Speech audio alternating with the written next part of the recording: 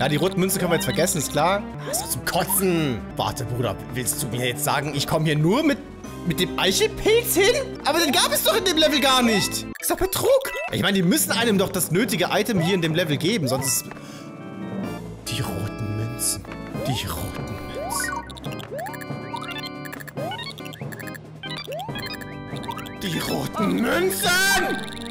Die roten Münzen! Alles klar? À cela.